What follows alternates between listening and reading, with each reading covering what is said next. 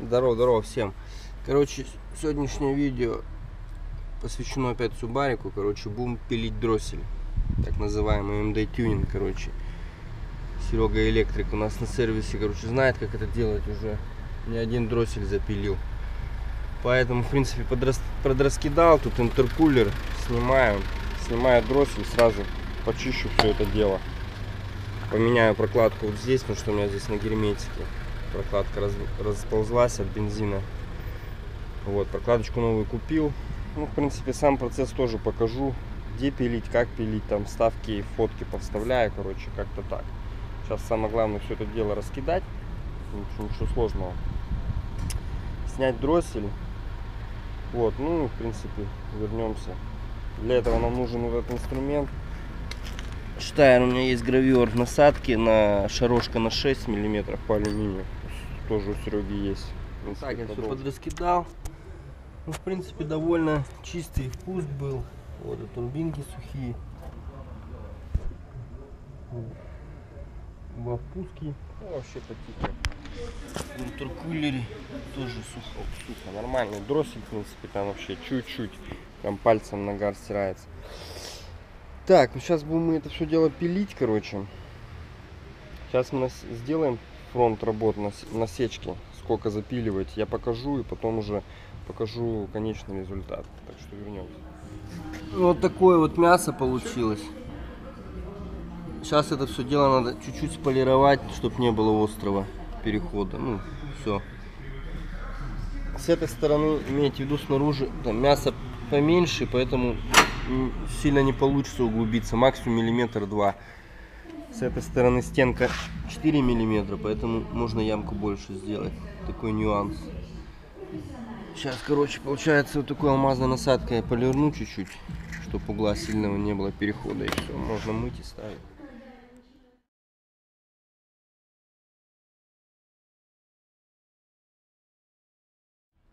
Короче, вот так это все выглядит.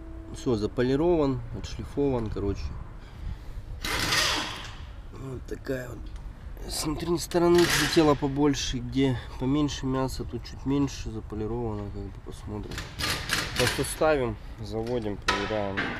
Потом на ходу. Все собрано, ну что, первый пуск. Первый пуск.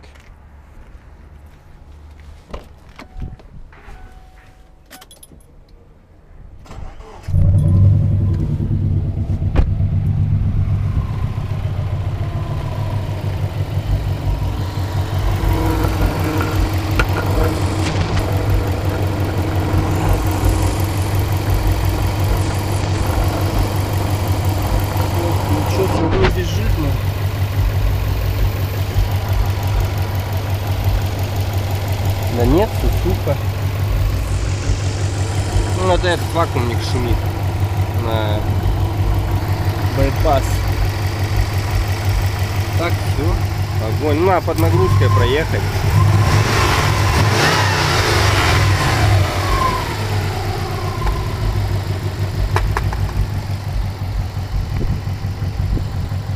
Так что огонь, ну ладно, поедем прокатимся и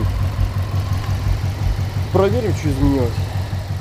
Здорово еще раз, братва. Ну, короче, закончил я процедуру так называемый MD, MD тюнинг дросселя. Ну, или, короче, дословно запилил просто дроссель. Вот, ну, короче, все нормально, что, холостой стоит, все, никаких провалов. Адекватно на газ реагирует. Снизов, да, вот в диапазоне, ну, до трех, трех с половиной прям чувствуется как-то вот Короче, педаль нажимая, нажимая гораздо меньше, да, в плане открытия дросселя. И тяга как бы снизов прям начинается. Есть эффект, базар нет. Посмотрим, что по расходу. На верхах там сразу написано, что особого эффекта не будет, потому что это именно в низких средних диапазонах.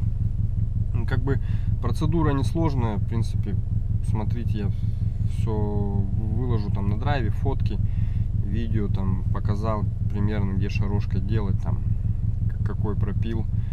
Вот. Какую канавку там заполировать. Ну, все просто. Главное не переусердствовать. У Subaru тело дросселя тонкое, да. Э, именно с наружной стороны. С внутрянки там 4 миллиметра, как бы 2 миллиметра можно смело углубляться. А, а с наружной стороны, где интеркулер одевается, там, конечно, маловато. Там аккуратно, буквально чуть-чуть совсем сделал. Ну и то эффект есть. Так что советовать не советовать, не знаю. Я вот поезжу, скажу, что как. Прям вот, ну, хотя бы недельку, да.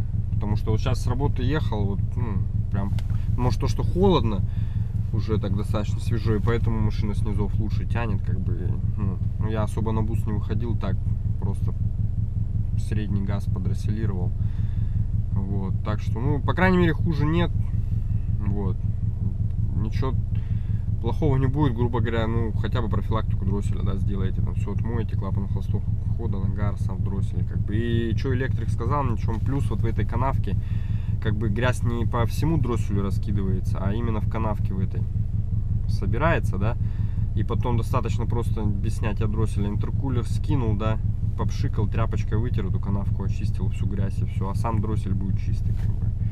В этом, да.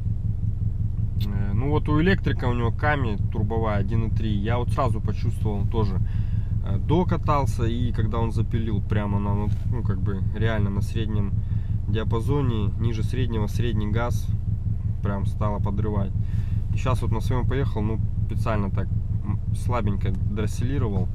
Реально тяга как бы прям даже при малом газе. Ну, все-таки дополнительный воздух есть. Компьютер считает и льет бенза. Посмотрим, что по расходу. Больше, меньше, не знаю. Еще я, короче, проблему нашел, почему у меня э, богатила смесь я же байпас разобрал сразу, плохо видео не снял, ни фоток не сделал. Ну, короче, профилактику решил байпаса сделать. Там, короче, он половинится на три части. И, короче, там прокладки были уже в такие в удручающем состоянии. И в одном месте, короче, он сосал воздух, и мембрана сама была с дырочкой. Короче, мембрану я там заклеил, латку поставил, короче. Вот сейчас прокатился, все нормально. А до этого прям слышно было под капотом шипение воздуха откуда-то в районе байпаса. Короче, попшикал пенным раствором и увидел, что из-под прокладки пузырит. Один в один картина, как на прошлом байпасе Provo но там именно из-под прокладки, где к интеркулеру а здесь именно где сам байпас половинится, вот там профилактику, чтобы делать, там штока. Ну, как бы все нормально. Так что, если что спрашиваете, там ставьте комментарии, нужно, не нужно, там, в принципе, ставьте лайки. Вот ну, что знаю, расскажу. В принципе, я это сам на драйве нашел. И плюс электрик опыт у него. Он уже там дроссели 20 запилил. Он мне как бы основную ямку набил, показал, в каком диапазоне работать и все. Так что давайте, пока-пока. Что, всем удачи. Э, завтра попытаюсь снять теплая погода. Или завтра, или послезавтра. Э, обзор на Кавасаки же. Вот. Я так обзор не запилил какие мои ощущения, там, в принципе, его там данные, характеристики, так, как обычно. Так что давайте, Покедова, все, увидимся.